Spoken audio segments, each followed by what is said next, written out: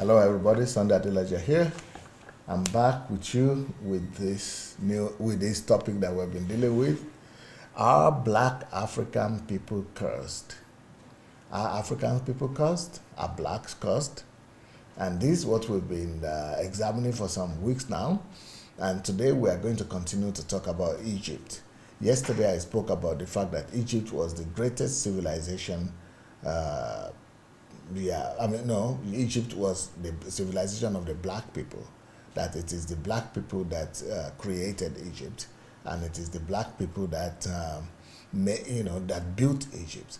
Today, I want to talk about the greatness of Egypt, and that Egypt is the greatest civilization of the ancient world. It's the greatest. Now, the Nubia and Ethiopia was the first civilization of mankind, right? But it reached another level when they migrated to the north and built Egypt, and they made Egypt to be the greatest civilization of the ancient world. But the first one was the Ethiopian or Nubia civilization. So we have found out who the ancient Egyptians were. Please go and share the message if you uh, if you don't mind, share the message and invite your friends. So we already found out who the ancient Egyptians were. And we can see the achievements of Egypt in a new and true light as achievements of black Africans because we already found out that the ancient Egypt was a, uh, a land of black people. That's how they call themselves dark skinned land, a land of blacks, before the Greek people changed their names to Egypt. This is the matter of principle that we had to make clear above that the achievement of the ancient Egypt is the achievement of the black race. Now, let us enjoy an excursion of the majestic Egypt. In the pre dynamic period, the Egyptians already imported gold, silver, copper, tin, lead, iron, red iron ore, uh, corundum, galena, to, uh, turquoise, uh, vo uh, volcanic glass, serpentine, lapis lazuli, coral, and tortoise shell. From these materials, they produce beautiful and useful works of art, which was destined to, destined to inspire, surprise, and bring admiration in the following centuries. The first golden age of Egypt is the historical period known as the Ancient Kingdom. It is this era that is glorified as a milestone in the construction of the Egyptian, Egyptian pyramid. And this is before the arrival of Europeans and before the arrival of Arabs. These structures, in particular, the three of them located, in, located mainly on the Giza Plateau, appear to be the most enduring architectural structures in the world today. These objects of architectural craftsmanship remain a source of reference, reverence, surprise, and inspiration. As the Arab proverb goes, the whole world fears time, but time fears the pyramids. the French Emperor Napoleon Bonaparte calculated that there was enough stone in the Giza pyramids to build a wall measuring 10 feet in height and one foot in width surrounding the entire country of France. And as you know, I've already told you that there is a wall that was built in uh, Bikulisi, or something, Bikulumiku, uh, somewhere in Yoruba land, in the Jebu Ode area, uh, a war that we, we have found out that the amount of stones and the earth uh, sound that was used to build that is called the Queen of Sheba, the Queen of Sheba shrine in Ijebu, is the amount of wall that, I mean, the amount of fee, uh, sound that is used to build that wall is more than the amount that is used to build the pyramid. So because it is the same kind of people who built them, the same people who migrated from Nubia and Ethiopia to who migrated to the north, they are the same people who migrated to the west.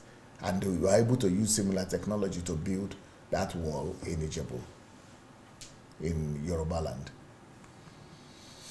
The mathematician monk who was among the servants accompanying Napoleon on this campaign is alleged to have confirmed this calculation. The occupation of Egypt by Ethiopia served as the beginning of the first Egyptian golden era, golden age. According to the British archaeologist Flinders Petrie, the conqueror of Sudanese appearance founded the third dynasty, as a result of which many completely new ideas penetrated the country. You say so when we talk about Sudanese, um, Ethiopians, we are talking about the same people. They're the same. We are not talking about Sudan of today, and we are not talking about uh, know, Ethiopia of today. We are talking about a nation that was just one, without territory that time, without borders, and it was just a nation of black people, just one black nation, continent of black people. That's what he's talking about. That when those people conquered and colonized Egypt, that is when they were able to build all those things we see in Egypt today. This new movement reached its culmination in the days of Pharaoh uh, Cheops, who laid the foundation for Egyptian development. By itself, that Pharaoh was a black man. By itself, the pyramid of Cheops, the most perfect geometric form in architecture and the only survivor from among the seven wonders of the world, is the largest single building ever built by man until 1,300 years, it was the highest building in the world. Wow. Architectural works performed by the uh, Egyptians required mechanical and technical knowledge that even modern professionals are still trying to explain.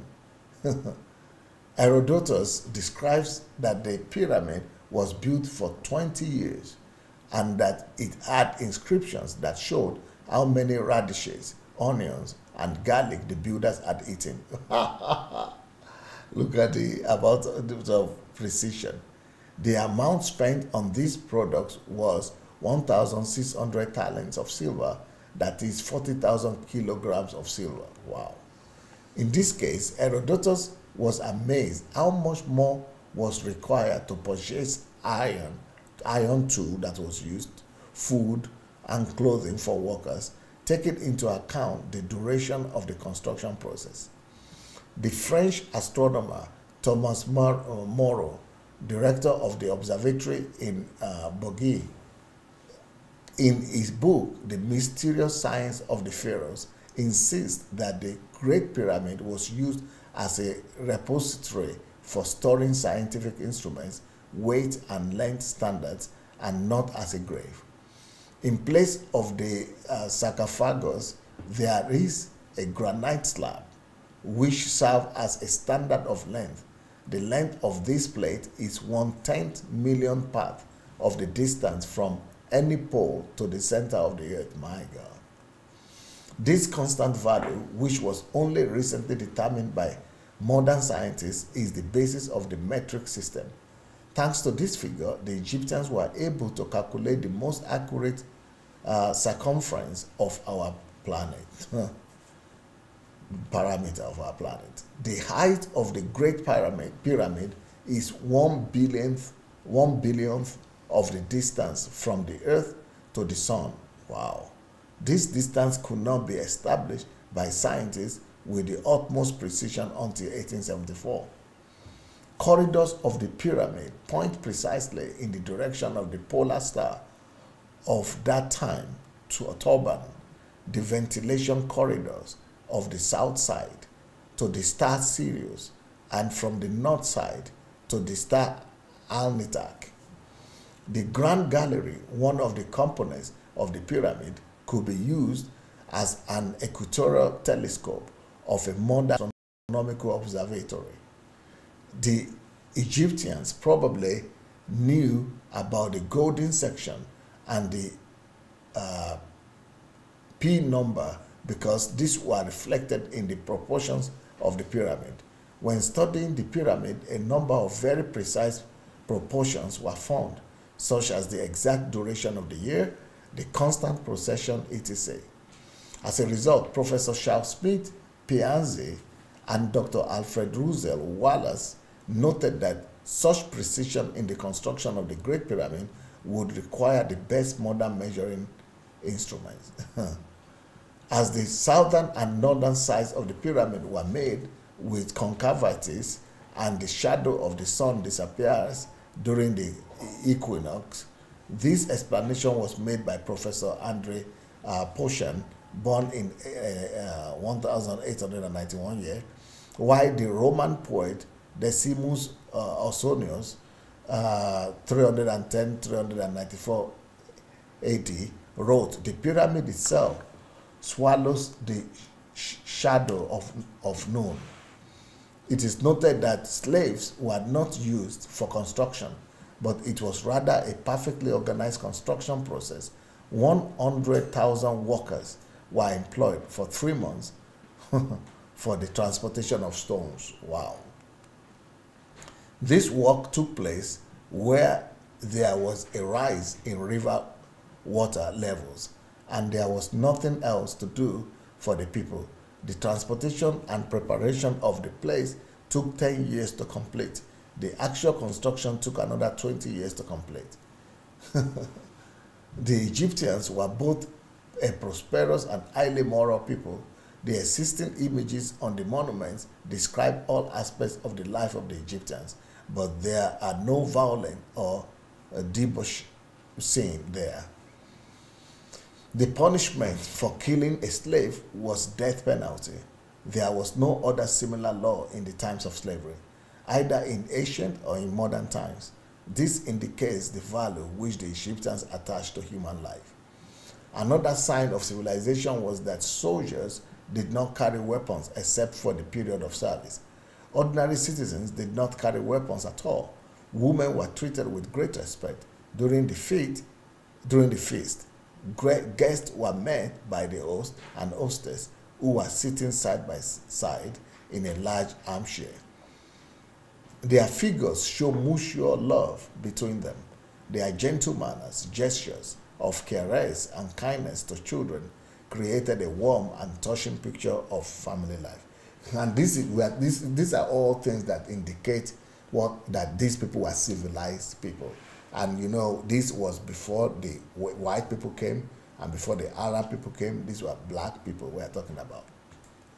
Civil law functioned in such a way that the poor were protected by law on an equal basis with the rich. The judges received large salaries, thereby removing the temptation to take bribes. They, treated, they treated with honor the symbol of truth, which they used to wear around their necks on a gold chain. From the kingdom emerged such illuminaries as Net Jeriket uh, Zoser, year of rule, uh, okay, before Christ, the first recognized royal personage to commission the construction of a large monument in Houston. Bejme, the noted African shipbuilder, Noamet uh, Sneferu, the benevolent king, during whose reign the classic pyramid form appeared. Khafre, years of rule, okay, who built the second Giza pyramid and may have had the face of on, on market uh, rendered in his own likeness. Menkaure, years of rule, you see there, builder of the third Giza pyramid. And you see, if you know, you see that these are not Arab names, these are more African names. Asire, chief of dentists and physicians, Sahure, who launched the first recorded Kemetic expedition to Punt, Ghostland in Eastern Africa. Uh, Ptahhotep author, author of profound uh, precepts of morality and ethics set forth in the first preserved philosophical works. Unas, whose tomb chamber was the first to be inscribed with the religious literature now known as the pyramid text. II, another southerner whose 94 years on the throne is the longest documented reign in human annals. We would like to single out uh, Imhotep, Imhotep, who is considered the first known architect in the world, in the world history, and a scientist. He designed the first stepped pyramid, was an astronomer, architect, prime minister of King Djoser, uh, the chief doctor of the monarch. The authority of uh, Imhotep, uh, in subsequent period of Egyptian history was so great that he was considered the greatest sage of all time as a magic that he had a magical power Imhotep is also credited with the foundation of Egyptian medicine. In particular, he is considered the author of the Edwin Smith Papyrus, a fundamental medical research. This papyrus was the first to determine the real causes of many diseases. A famous Canadian medical practitioner of the uh, 19th century, William Osler, called Imhotep the father of medicine and the first medical practitioner whose personality comes from the fog of antique, uh, antiquity. Imhotep is the initiator of the movement of protesting scientists, as evidenced by his words. The scientist does not need to be instructed on how to cook green sponge. Earlier sources of this saying or his counterparts have not yet been found by archaeologists. His other saying is eat, drink, have fun, for tomorrow we will die. The era of the Middle Kingdom of Egypt, which is 2,000 years before Christ, was also funded by noble descendants from southern Egypt.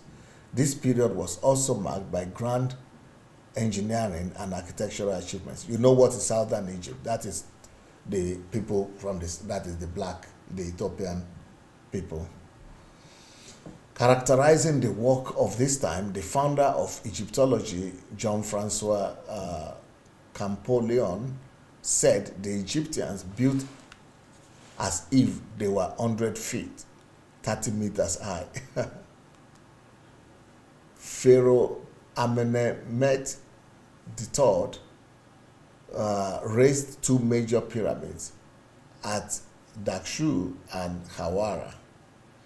The one at Awara possessed a uh, sepulchral chamber of yellow quartzites, 22 feet long, 8 feet wide, and 6 feet high.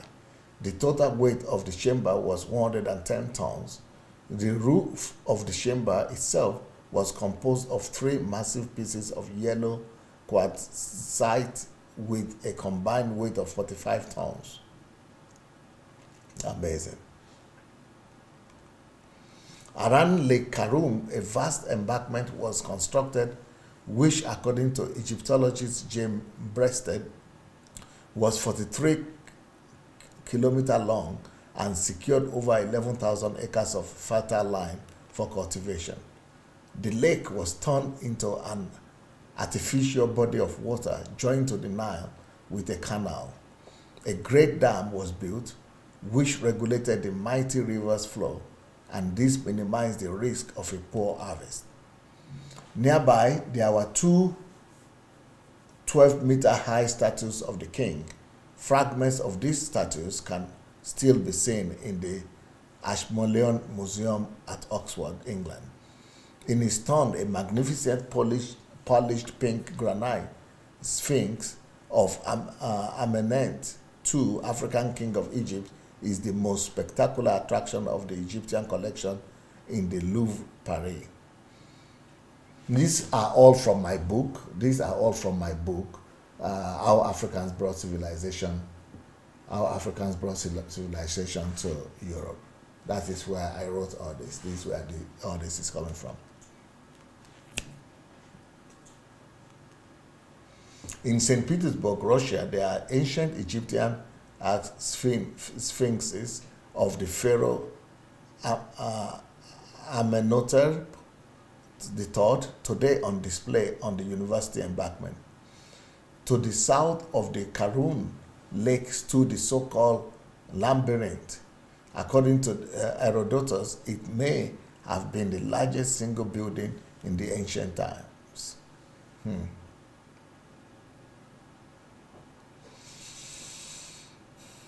That is the labyrinth there. The lower part. Labyrinth. Herodotus wrote that the labyrinth surpassed the pyramids, and let me quote him I have seen this building, and it is beyond my power to describe. It must have cost more in labor and money than all the walls and public works of the Greeks put together. Wow. In facing of the building was composed of quartz and alabaster, giving it the appearance of white marble. This huge complex with 12 individual courts was dedicated to Sebek, Sebek the crocodile-headed deity sacred in the Fayum oasis. The labyrinth contained 3,000 rooms, 1,500 below the ground and 1,500 above. Wow. 3,000 rooms. The building itself measured 800 to 1,000 feet. Archaeologist uh, F. Petrie, who conducted excavations of this site said the mere figures will not signify readily to the mind the vast extent of construction, but when we compare it with the greatest of the other Egyptian temples, it could be somewhat realized. On, this, on that space could be erected the great hall of Karnak and all the successive temples adjoining it, and the great court and pillars of it, and also the temple of Mut, and also the two great temples of uh, Lux, uh, Luxor, and still there will be room for the whole of Ramesseum. Hmm. In short, all the temples of the east bank of Tebet and one of the largest on the west bank might be placed might be places together in the one area might be placed together in one area. The great inventions made by Egyptians include alphabet, paper, ink, pen. They are credited with the invention of the art of shaving, wigs, hats, and pillows. They made the first paper from thin cane strips of papyrus. Connected together, the ink was made from a mixture of vegetable glue, soot, and water. Writing was invented and its influence on the development of civilization is invaluable. According to the historian James Breasted, the invention of writing and convenient writing on paper had a greater impact on the development of the human race than any other intellectual invention in the history of mankind. This was more important than all the wars and, invent, and all invented devices.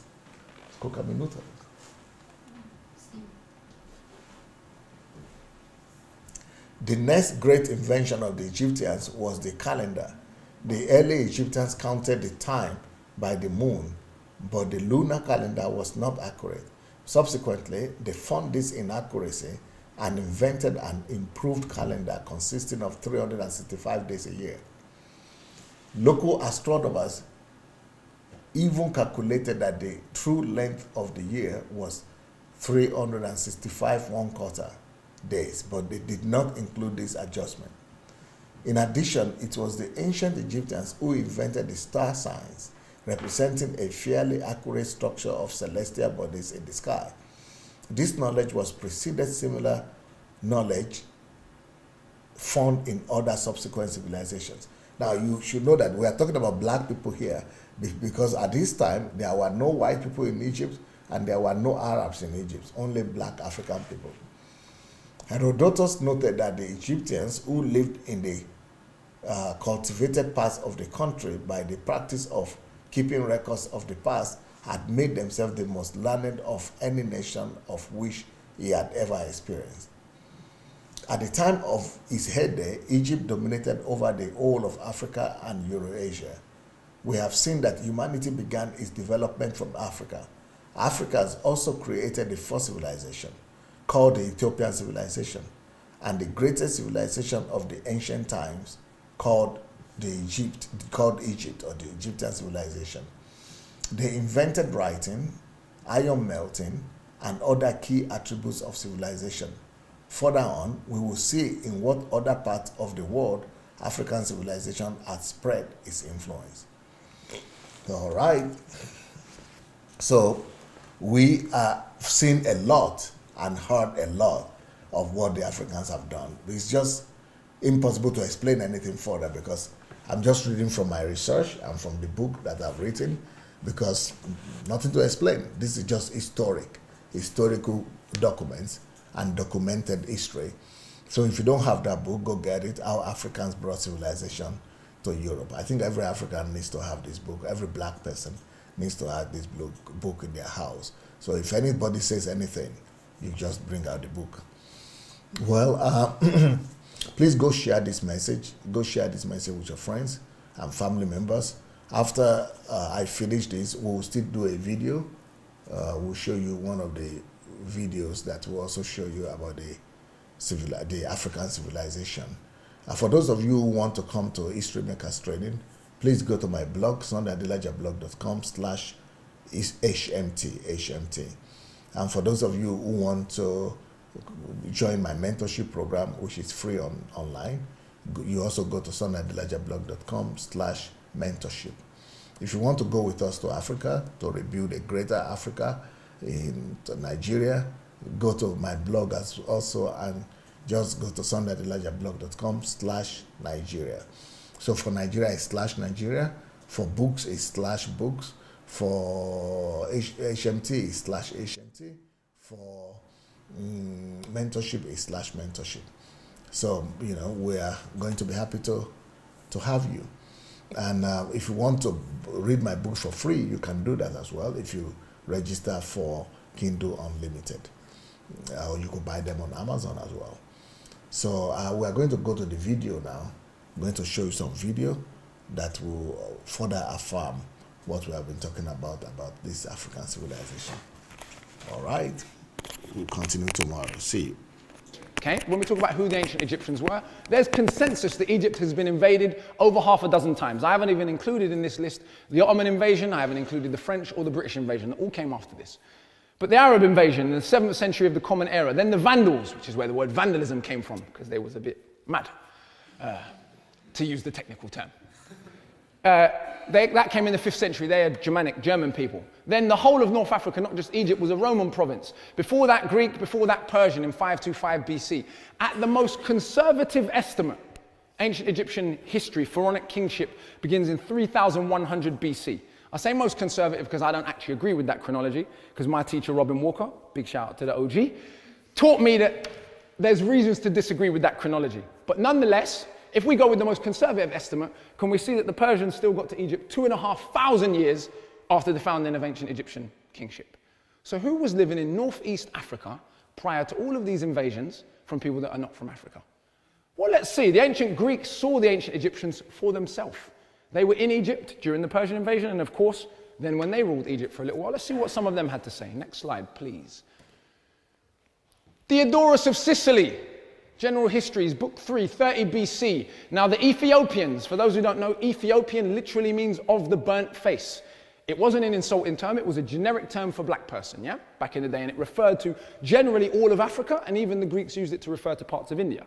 If you go to India today, in southern India, you'll find people some people as black as any people in Africa. So it shouldn't surprise you if that term was used, but it was a generic term meaning black. Now, the Ethiopians, as historians relate, were the first of all men. The proofs of this statement, they say, are manifest. They also say the Egyptians are colonists sent out by the Ethiopians. Now, can you see, we're told modern science discovered that Africans were the first people on the planet. But here is an ancient Greek historian saying that Africans were already saying we were the first people on the planet in 30 BC. Herodotus, the father of history, there can be no doubt but that the Colchians are an Egyptian race. Before I heard any mention of the fact from others, I had remarked it myself. My own conjectures were founded on the fact that they are black skinned and have woolly hair, afro. Yeah? The Colchians, by the way, are a group of people in southern Russia at the time. whole host of other Greek scholars, including Aristotle, and there's loads more I could have put, seemed very unconfused about the ancient Egyptians' ethnicity. We can't have it both ways. Even the ancient Greeks were one of the most intelligent, civilized people ever, or they were so stupid they couldn't recognize the colors of people they saw for their own eyes. But we can't have it both ways, you see? Next slide. Now, here are some uh, Egyptologists. It's important for us to understand the way early Egyptology evolved. When the French came to Egypt and colonized Egypt, it was in the height of transatlantic slavery, late 1700s, Napoleonic expedition to Egypt. The Sphinx, the pyramids, all of these things are newly rediscovered. And immediately the French are like, uh oh, we've got a bit of a problem here because we have an economy based on the pseudo-scientific idea of racism, based on the idea that some races, namely the white race, an invention, is superior to other races, particularly the black. And the discovery of an ancient African civilization, thousands of years before there was anything of comparable stature in France or England, not an insult, just a fact of history, created some problems. Now, some scholars immediately reacted to this by saying, okay, well, clearly racism's nonsense. Hooray, we can do away with such a stupid idea. Of course, foreign policy realized this wasn't terribly convenient if your economy depends on racialized slavery. So even though some honest, honest scholars came out and told the truth, many scholars went against this, and you're going to see how ridiculous some of the explanations got. Champollion, not the main Champollion, but the brother of Francois Champollion, had the following to say. I'm not going to read it all, but if you look closely, he says that Volney's basically chatting rubbish. There's no way the ancient Egyptians could have been black. But let's get to the end, and this is how funny it is. Listen to this part. Volney invokes that of Herodotus, who recalls that the Colchians had black skin and woolly hair. Yet these two physical qualities, black skin and afro hair, do not suffice to characterize the Negro race, and Volney's conclusion as to the Negro origin of the Egyptians is evidently forced and inadmissible. Now, he didn't offer any evidence. All he said was having black skin and woolly hair doesn't make you black. And if we go back into the racial science of the day, you will understand that it was actually argued by otherwise intelligent people that there were two races of black people there were Negroes and there were Hamites. Hamites were any Africans that didn't look absolutely stereotypically what we think of West African people to supposedly look like. Anyone that has a slightly thin nose or any kind of straight hair or any features randomly that we decide was a Hamite. And Hamites were responsible for all of the civilization in Africa, and they descended from Europeans. Negroes, on the other hand, they were the real black people. And even when we find evidence of Negroes, we'll just say they were Hamites, as you have here. This is how silly and how ridiculous ideas, pseudo-scientific ideas like race, make otherwise intelligent people behave. Next slide, please. This is one particular comment, one of my favorite. He said, There are a people now forgotten, discovered, while others were yet barbarians, the elements of the arts and sciences, a race of men, not, of course, like most sexist men, he used men, but he meant all humans. Um, because we just normalize that kind of language, men to represent all of humanity, now rejected from society for their sable skin and frizzled hair, founded on the study of the laws of nature, those civil and religious systems which still govern the universe. Again, two early Egyptologists saying very much the same thing. Egyptian civilization is not Asiatic, but African in origin, of Negro origin, however paradoxical this may seem, we are not accustomed, in fact, to endow the black or related races with too much intelligence. So Pro Professor Abi Amelou straight away hit on what the issue was. Francois Champollion, the founding father of Egyptology, the man who decoded the Rosetta Stone, what did he have to say? Because apparently, according to National Geographic, the only people that think the ancient Egyptians were black were crazy Afrocentric black people. But let's see.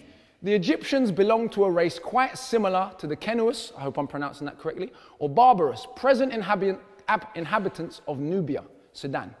In the present Copts of Egypt, we do not find any of the characteristic features of the ancient Egyptian population. The Copts are the result of crossbreeding. Seems normal when a country gets invaded, there's interbreeding. The people that live in America today are not representative of the ancient indigenous Americans for the most part. Even though those people still live there, the average citizen of New York does not look like the average American 500 years ago. With all the nations that successively dominated Egypt, i.e., the Greeks and Romans, it is wrong to seek in them the principal features of the old.